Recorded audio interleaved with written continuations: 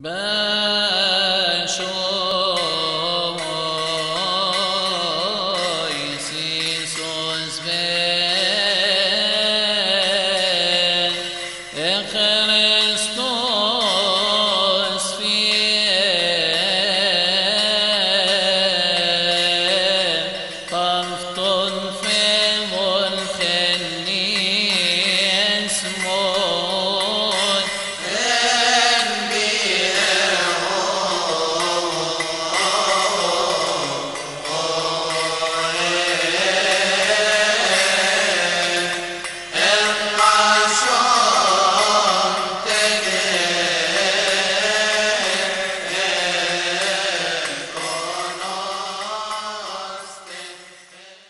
بسم الآب والابن والروح القدس الإله الواحد آمين.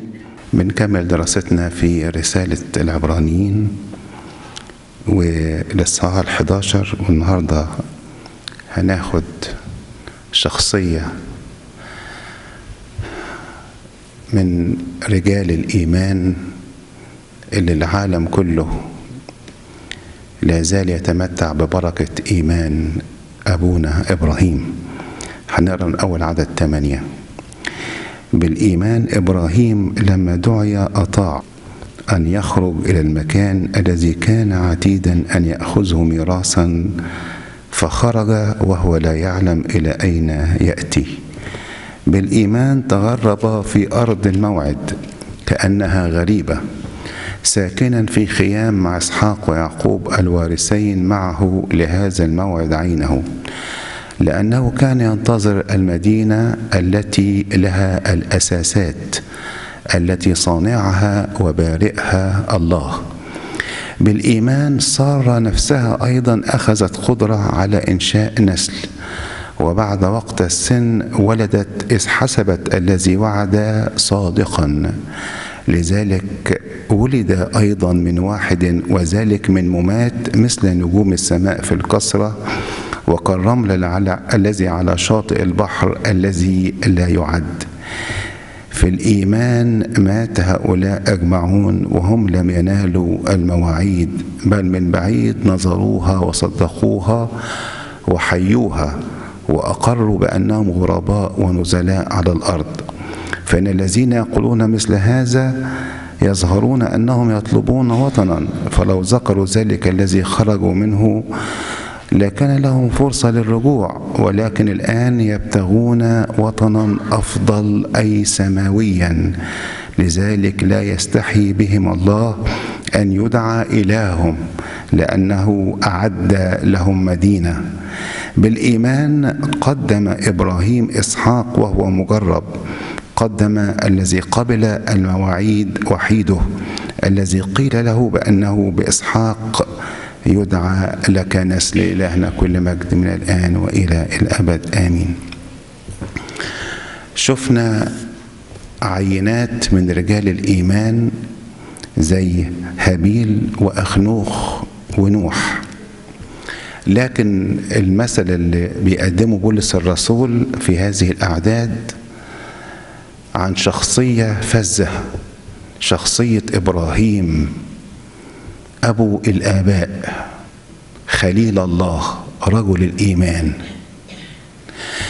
الحقيقة اللي يتأمل في شخصية إبراهيم يتعجب من إيمان هذا البطل بطل الإيمان.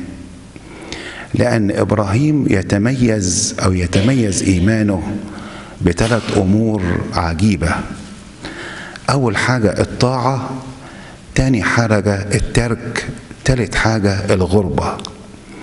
يتميز إيمان إبراهيم بالطاعة. إبراهيم لما دعي أطاع. طب يا إبراهيم دي الدعوة كانت دعوة غريبة. اذهب من أرضك ومن عشيرتك ومن بيت أبيك إلى الأرض التي أنا أريك. يسيب أهله وبلده ووطنه وأسرته وكل شيء ويخرج ولا يعلم إلى أين يأتي. حتى ما كانش يعرف إن الأرض اللي هو هيوصل إليها دي أرض كنعان دي هتبقى أرض ميراث ميراث لنسله يعني. ما كانش يعرف الحكاية دي. ده ربنا قال له أنت بس اخرج من أرضك ومن عشيرتك ومن بيت أبيك إلى الأرض التي أنا أريك. وهو سمع كلام ربنا وأطاع. ليه إبراهيم أطاع؟ إبراهيم الحقيقة عمل الإيمان خلاه إنه يصدق كل كلمة بيقولها ربنا. وإن ربنا لما بيقول له سيب الأرض وسيب المكان وسيب الأهل وسيب العشيرة وسيب كل حاجة وأنا هوديك أرض تانية عرف إن مصلحته وخيره هي إنه يسمع صوت ربنا وإنه يتمم مشيئة الله. الحقيقة لم يتفوق أحد على طاعة إبراهيم إلا شخص ربنا يسوع المسيح اللي أطاع حتى الموت موت الصليب. الحقيقة طاعة إبراهيم لما نتامل فيها نلاقيها طاعة عجيبة. لكن طاعة المسيح أعظم بكثير من طاعة إبراهيم. ليه؟ لأن المسيح زي ما قال بولس الرسول يقول كده في فيليب 2 5 8 فليكن فيكم هذا الفكر الذي في المسيح يسوع. أيضا الذي إذ كان في صورة الله يعني في صورة الله يعني له نفس الجوهر الإلهي. لم يحسب خلسة أن يكون معادنا لله. لكنه أخلى نفسه آخذا صورة عبد صائرا في شبه الناس وإذ وجد في الهيئة كإنسان وضع نفسه وأطاع أطاع أطاع حتى الموت موت الصليب طاعة المسيح.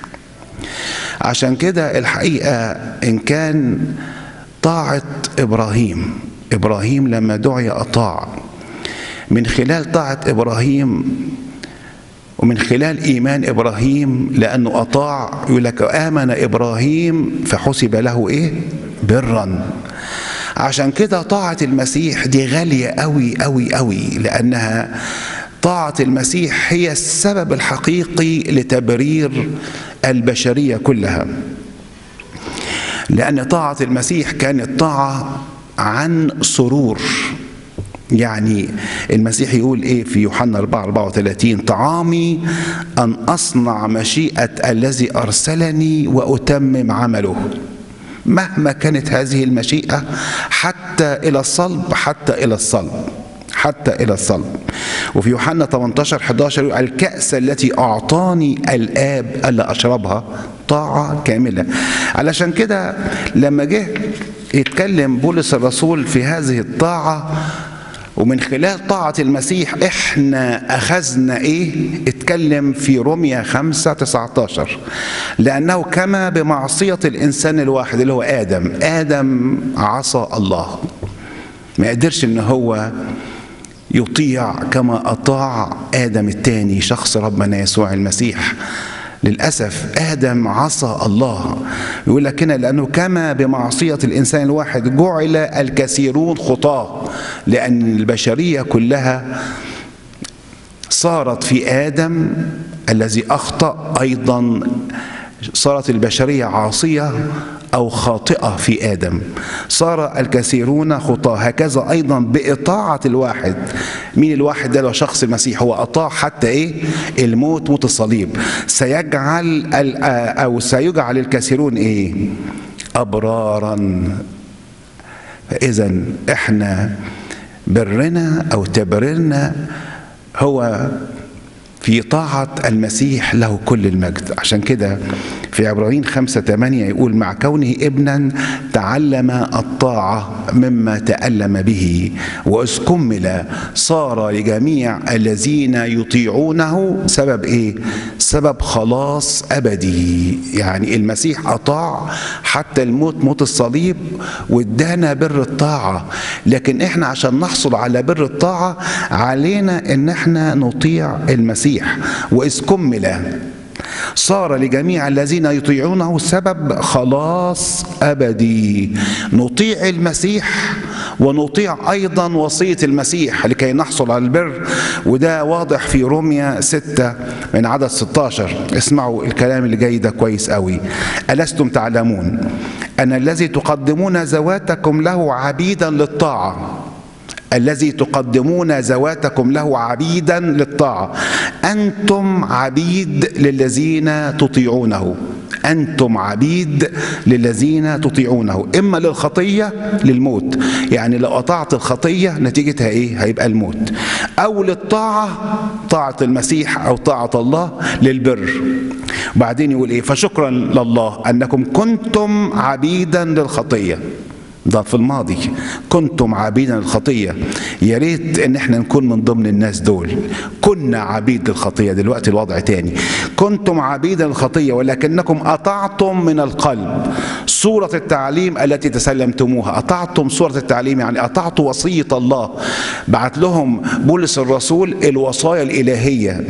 تعاليم ربنا يسوع المسيح زي الموعظة على الجبل. أطعتم من القلب صوره التعليم التي تسلمتموها. وإذ أعتقتم من الخطية صرتم عبيدا للبر.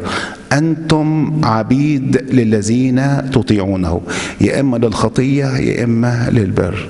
يبقى إذا المسيح زي ما شفنا بسبب طاعته حتى الموت موت الصليب إحنا أخذنا البر المجاني اللي اتكلم عنه بولس الرسول في روميا 3 21 أما الآن فقد ظهر بر الله بدون الناموس. مشهودا له من الناموس والأنبياء بر الله بالإيمان بيسوع المسيح إلى كل وعلى كل الذين يؤمنون. لكن علشان إحنا نحصل على هذا الإيمان علينا إن إحنا نطيع المسيح بأطيع الوصية. شفتوا يا جماعة بركات الطاعة. صدقوني اللي تعب الدنيا ان إحنا مش قادرين نطيع نطيع الوصية الأول. خلي, خلي الطاعة الثانية والخضوع اللي بعد كده ده نمرة اتنين.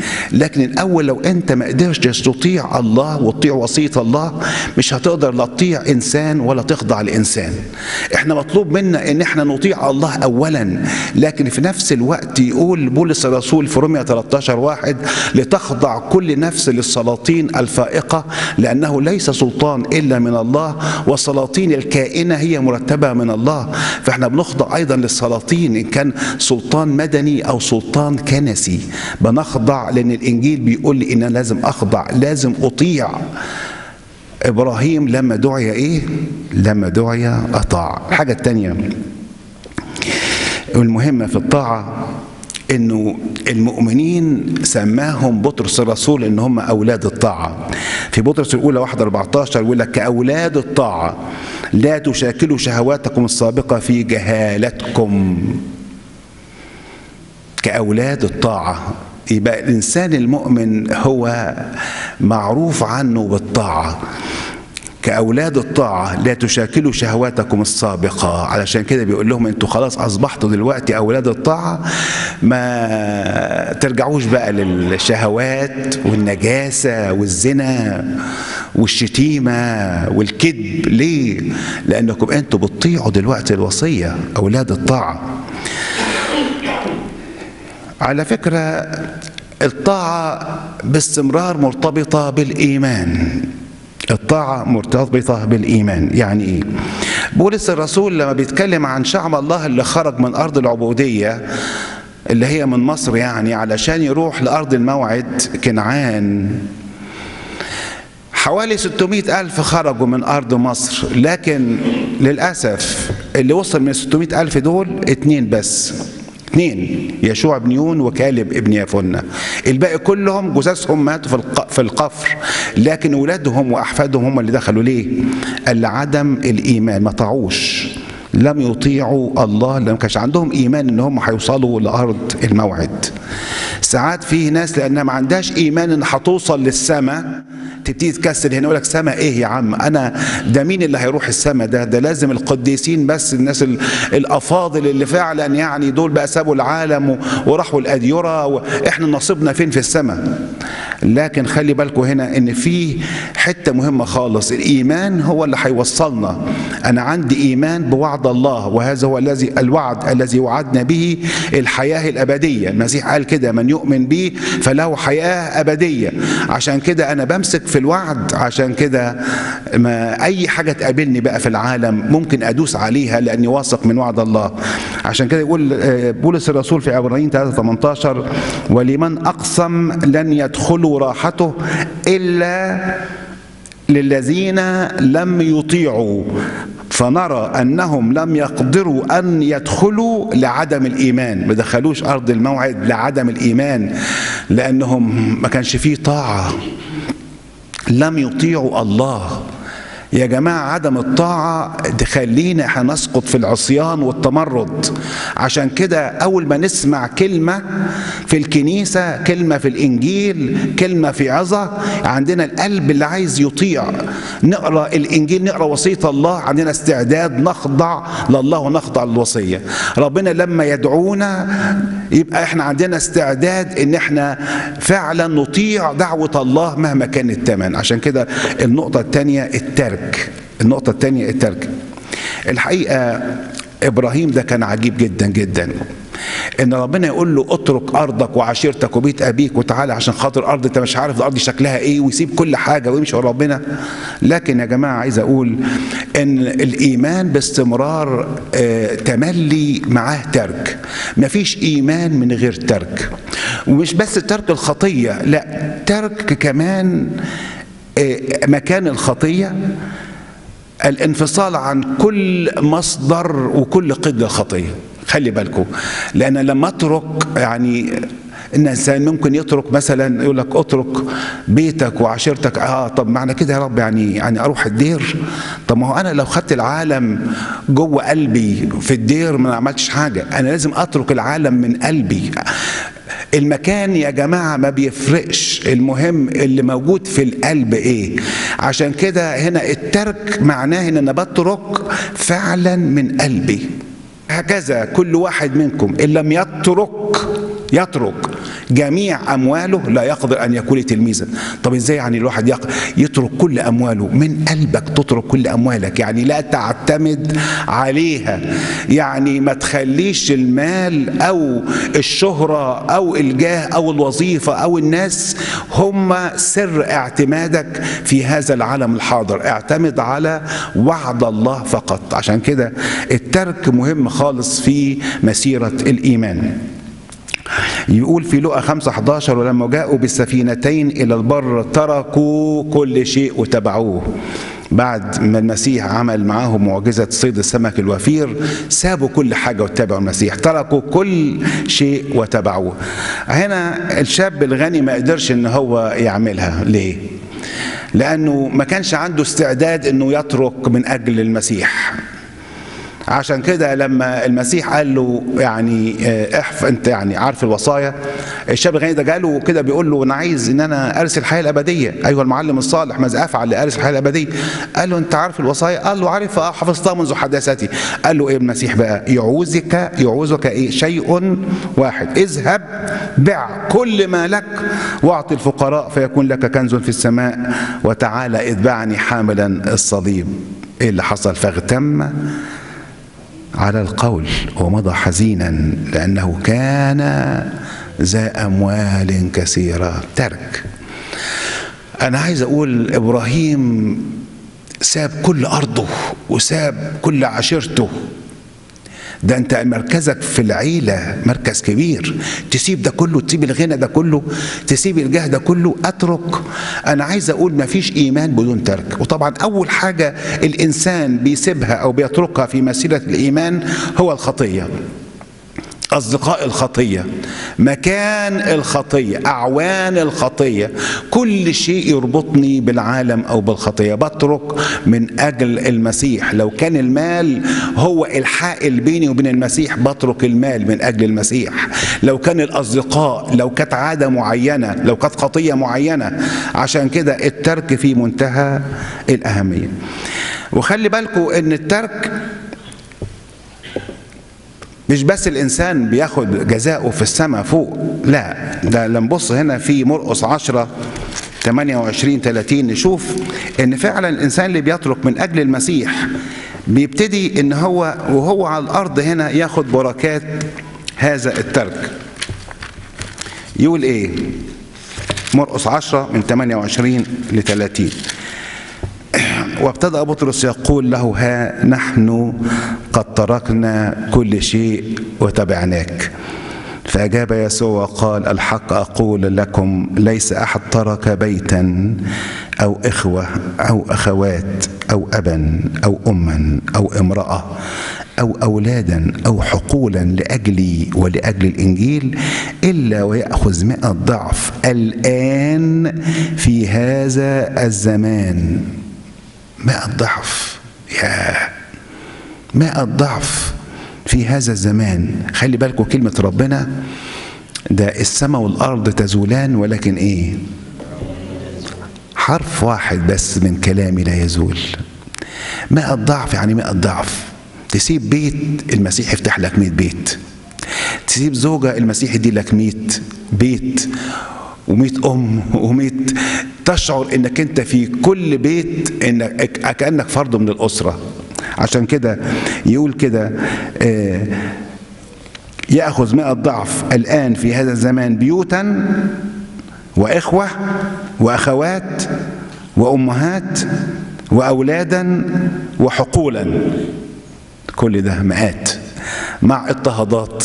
مع اضطهادات دي كمان من ضمن الحاجات الايه من المكافأة صدقوني اللي بيضطهد من أجل المسيح دي بركة مع اضطهادات. وفي الظهر الآتي الحياة الإيه؟ الحياة الأبدية. الحياة الأبدية. يبقى إذا هنا في بركة. النقطة الثالثة عشان الوقت الغربة. بالإيمان تغرب في أرض الموعد كأنها غريبة. ساكنا في خيام إسحاق ويعقوب الوارثين معه لهذا الموعد عينه لأنه كان ينتظر المدينة التي لها الأساسات التي صانعها وبارئها الله. تغرب في أرض الموعد كأنها غريبة. خلي بالكم الناس بتفهم غربة إبراهيم بمفهوم خاطئ. هو مش أصلا كان في اور الكلدانيين وبعد كده جه اتغرب في أرض كنعان لا. ده وهو وخ... يعني أقام في أرض كنعان فترة طويلة جدا لكن ما بقتش وطنه. ليه؟ هو كان شاعر بالغربة لأنه وطنه كان في السماء فوق يا جماعة خلي بالكم. يقول لك لأنه كان ينتظر المدينة التي لها الأساسات التي صانعها وبرئها الله إبراهيم فهم إن ربنا مطلعه من أور الكلدانيين مش عشان خاطر يجي يتغرب في أرض كنعان وبعد كده تصبح وطنه. لا كان عارف إن كنعان الأرضية هي رمز لكنعان الإيه؟ السماوية. عشان كده أورشليم الأرضية هي رمز لأورشليم السماوية. عشان كده يقول الفيلو الفيلسوف اليهودي تغرب بروحه وإن أقام بجسده تغرب بروحه وإن أقام بجسده لأن حبه السماوي أنقص من شهوته للأمور الزائلة. كان عنده محبة للسماويات كان بينتظر المدينة التي لها الأساسات التي صانعها وبارئها الله. عشان كده كان ممكن إبراهيم كان غني جدا كان ممكن يشتري أرض في كنعان ما اشتراش. كانت الخيمة ياخدها وبعد كده يطويها ويتنقل لمكان تاني. ليه؟ الخيمة دي اللي هي ليست لها أساسات لكن منتظر المدينة لها الأساسات. الخيمة دي كانت من صنع إنسان لكن المدينة السماوية والبيت السماوي مين اللي بيصنعه؟ التي صانعها هو الله نفسه. يقول لك كده صانعها وبارئها الله. المدينة التي لها الأساسات التي صانعها وبارئها الله. عشان كده أحبائي لما ظهر الله لإبراهيم في تكوين 15 واحد قال له أجرك إيه؟ كثير جدا. وهنا كثير جدا يعني أكتر من الأرض. وأكتر من السماء. والمفسرين بيقولوا أصل الآية دي أنا أجرك الكثير جدا. ربنا عايز يقول لإبراهيم أنا الأجر بتاعك. نصيبي هو الرب هكذا قالت نفسي. أنا أجرك الكثير جدا. فيعني اللي ياخد المسيح يكفي عليه كل شيء. هو كفايتي. عشان كده مهم قوي إن إحنا نعرف إن فعلا الإنسان اللي بيستوطن عند الرب يعني يستوطن بفكره عند الرب يبقى يعيش كل حياته على العالم في غربة. ليست لنا هنا مدينة باقية لكن ننتظر المدينة إيه؟ المدينة التي لها الأساسات ملناش مدينة باقية هنا. عشان كده أحبائي موضوع الغربة ده يخلينا إن إحنا نستوطن السماء وإحنا لسه هنا على الأرض. عشان كده في مزمور 39 12 اسمعوا بقى الآباء اتعلموا كلهم من إبراهيم. داود النبي يقول استمع صلاتي يا رب واصغي إلى صراخي لا تسكت عن دموعي لأني أنا غريب عندك ونزيل مثل جميع آبائي. وإحنا المفروض إن إحنا بنحيا حياة الغربة. دي إحنا ملناش هنا وطن. إحنا سيرتنا وطنيتنا هي في السماويات. بطرس الأولى 2 11 أيها الأحباء أطلب إليكم كغرباء ونزلاء أن تمتنعوا عن الشهوات الجسدية التي تحارب النفس. نعيش نعيش بفهم فهم صحيح أن الأرض دي ما هياش هي الهدف. العالم مش الهدف يا جماعة. إحنا اصلنا اصلنا هويتنا ليست أرضية ابدا. إحنا اتولدنا من السماء اتولدنا من فوق.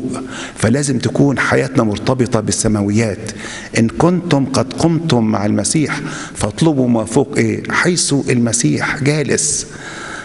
ما تخليش أفكارك على الأرض. وما تخليش شهوتك في الأرض. لكن ارفع قلبك عيش حياة الغربة. حياة الغربة تخلي الإنسان إنه ما يهموش باللي بيحصل في العالم. أنا غريب عايش هنا فترة بسيطة. كم سنة؟ 60 70 80 سنة 90 سنة. لكن دي بخار يظهر قليلا. ثم إيه؟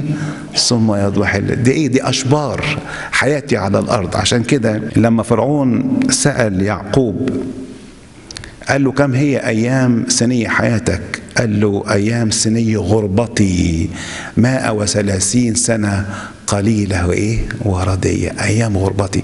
عاشوا الآباء بفكر الغربة. يليق بينا إحنا المسيحيين اللي اتولدنا من فوق اتولدنا الولادة الجديدة.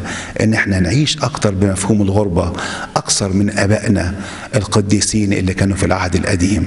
عشان كده يا ريت إن يبقى إحنا ثلاث حاجات مهمين الطاعة والإيه؟ والترك والإيه؟